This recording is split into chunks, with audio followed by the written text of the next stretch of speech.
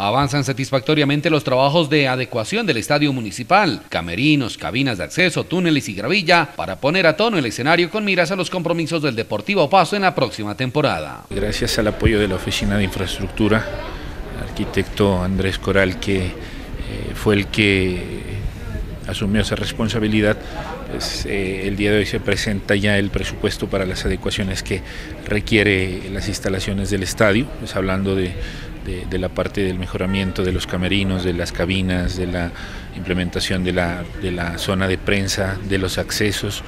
eh, también de la parte de camerinos, de las cuales se habló en un inicio, de la parte del túnel que, por donde se desplazan los jueces, del el camerino también donde ellos eh, eh, se van a,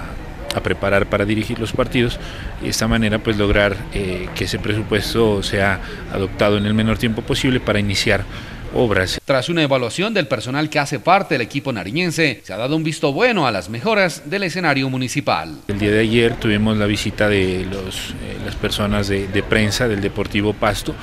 y pues con,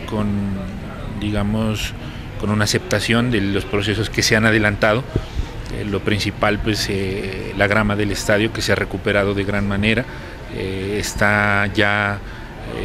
avanzado mucho ese proceso y, pues gracias al trabajo de las personas que eh, se dirigieron desde Pasto hasta acá, personas especialistas que han trabajado en el, en el tema de,